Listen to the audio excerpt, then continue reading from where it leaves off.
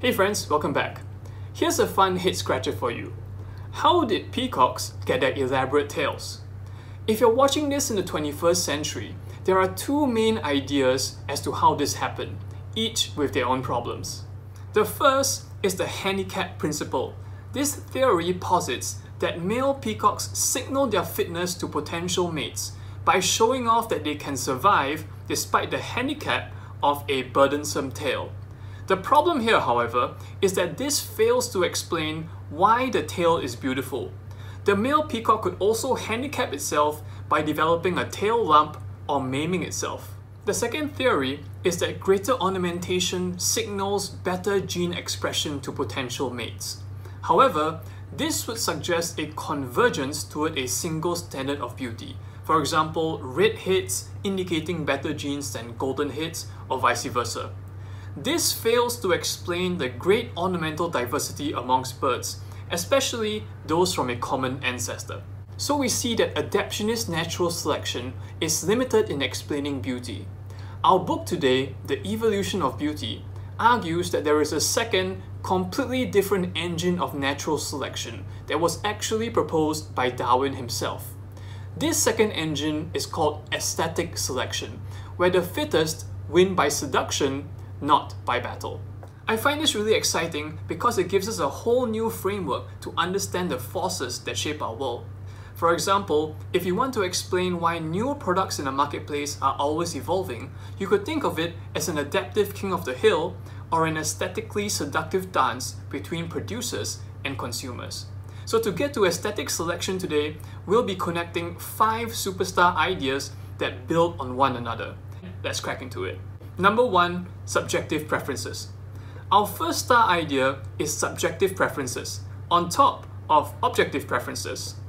While it's obvious that all animals prefer stuff that objectively aid their genetic survival, such as food or shelter, it's less clear whether they have the cognitive capacity to fancy something just because, like we humans do with fashion.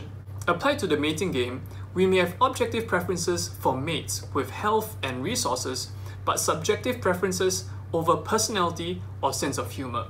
Notice that because subjective preferences are arbitrary, they aren't shared across the whole population and can be for many kinds of display traits.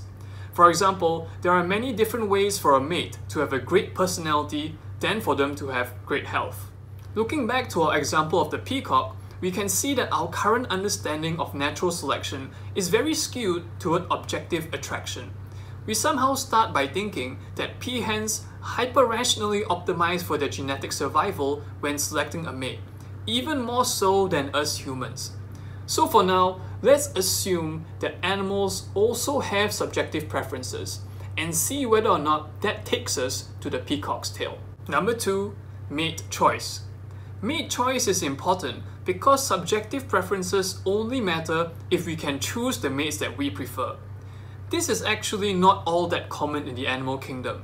For example, in baboons, lions, and hippos, females are forced to mate with the alpha male of the group because the alpha male both chases off other potential suitors and kills the offspring that don't belong to them. In contrast, female birds tend to have more mate choice because males are unable to chase rivals away or overpower females. Coupled with the fact that males, for most species, really want to be chosen as mates because they don't help to parent offspring. This means that males are forced to attract females by seduction. One way they do this is to charm the subjective preferences of females, which was our first building block from before. The mallard duck is a good example of these opposing mating strategies. Mallard drakes are pretty bipolar. Some respectfully court females, while others try to forcefully mate with them. Either way, males benefit greatly from mating because they don't help with the parenting and get to propagate their genes for free. If you are siding with the female ducks on this one, the good news is that they are surprisingly good at fending off aggressive males. This forces male drakes with mating aspirations to charm females through aesthetic displays such as mating dances and plumage. Quick pause. Hey everyone, thanks for watching and if you're enjoying it so far, please be sure to hit the like button below. I really appreciate it and it helps the channel grow. My goal is to bring to you a constellation of the best ideas so you can create your own by connecting the dots. If you're new here, do subscribe and click the bell. Thanks for watching once again and let's move on to the next one. Number 3. Runaway Selection Runaway selection starts with genetic diversity across display traits and subjective mating preferences. Let's say we have a population of birds. Some have short tails and some have long tails.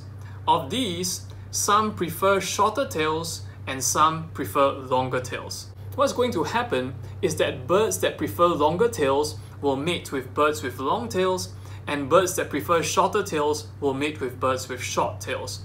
Over time, co-evolution of display traits and subjective preferences would cause the population to diverge into two distinct groups. One preferring longer tails and having long tails, and another preferring shorter tails and having short tails. Take the long-tailed widow bird. It's quite clear that its tail, measuring about 20 inches, is abnormally long and quite likely to be maladaptive. One theory is that a long time ago, when their tails were a regular length of say 5 inches, there was some adaptive benefit to having a longer tail, let's say up to 10 inches.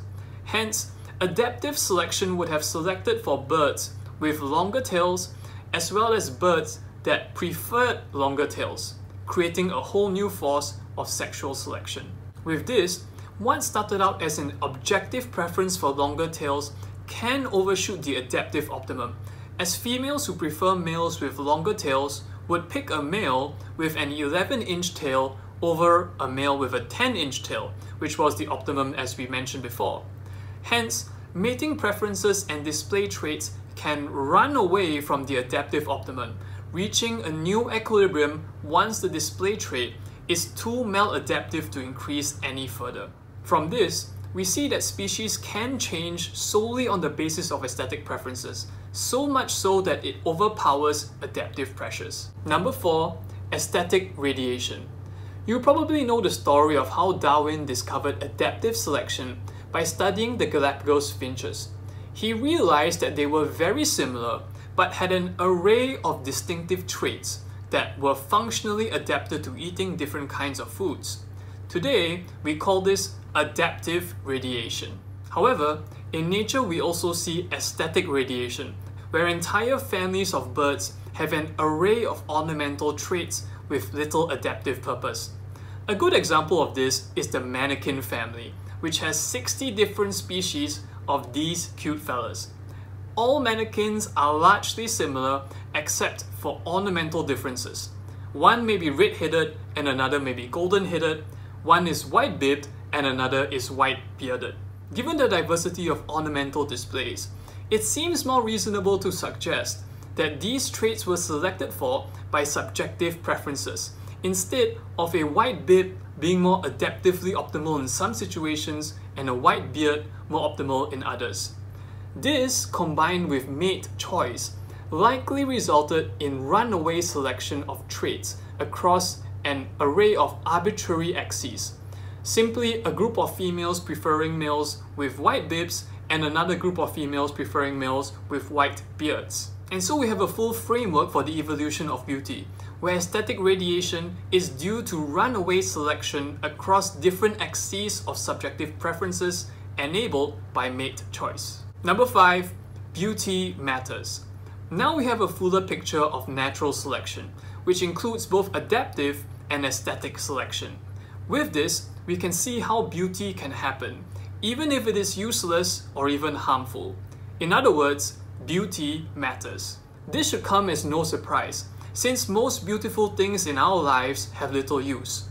Art, fashion, and fine dining are all luxuries that aren't useful relative to their cost. For example, there are good reasons why you may prefer a $2,000 designer gown over a $50 mass market dress stemming from subjective preference and mate choice.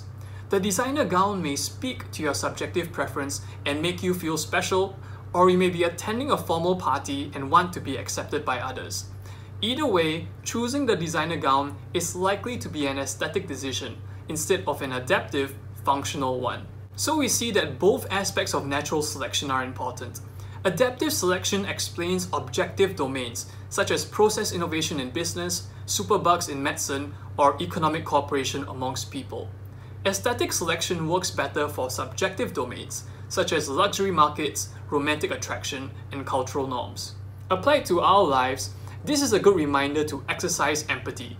If you want something from others, better to charm them than to force them. Also, aesthetic radiation drives home the point that all forms of beauty have merit along their own subjective axes, just as the white-bearded manakin is no better than the white-bearded manakin. The diversity of beauty across cultures is something to be appreciated, not compared. So that's about it for the video. Thanks for watching and if you enjoyed it, please remember to hit the like button and subscribe. I really appreciate it and it helps the channel grow. My goal is to bring to you a constellation of the best ideas so you can create your own by connecting the dots. Thanks again and I'll see you in the next video.